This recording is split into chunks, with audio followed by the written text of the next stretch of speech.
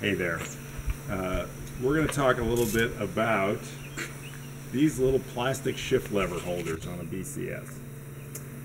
Uh, these these little plastic doohickeys allow very quick uh, swinging around of the handlebars because you can just pop these shift levers right out and turn your handlebar column around to reverse your handlebars for front PTO implements. That's all fine and well.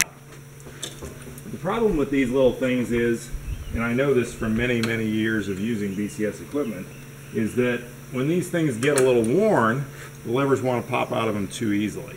And it's really irritating when you go to shift the gear and you accidentally knock it out. And if you've got the handlebars turned around, this lever, when you knock it out, falls down on the wheel, and then the wheel will try to bend it up in a corkscrew shape, which happens occasionally. So one thing that you've always been able to do on a BCS up until relatively recently is you're able to angle these things a little bit by twisting this mount, by twisting it on the bolt mount. Well, BCS kind of took that feature away, and I am rebelling against it. So, coming closer here, I'm going to loosen this thing up.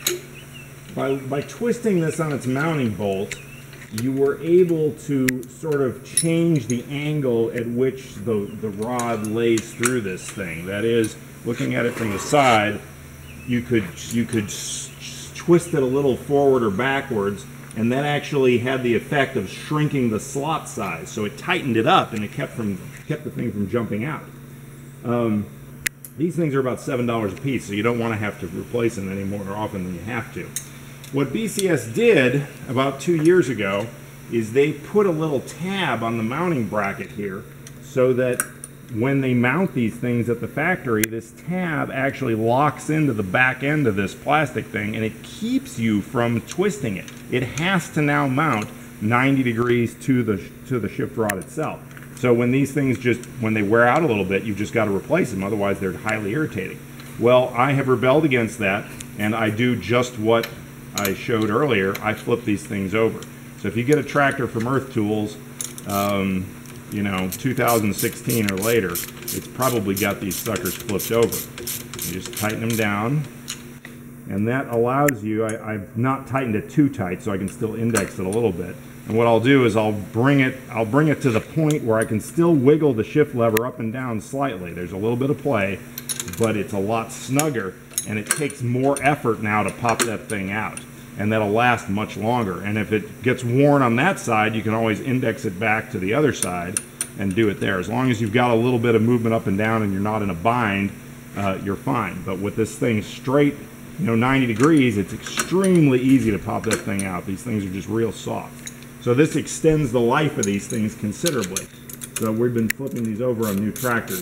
Now, the one time that this may be an issue is if you have some implement that stands up real tall in here, like a swivel rotary plow or the swivel moldboard plow.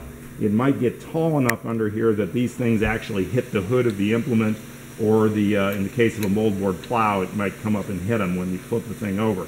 In that case, you'll just have to flip them back to their upright position to get them out of the way.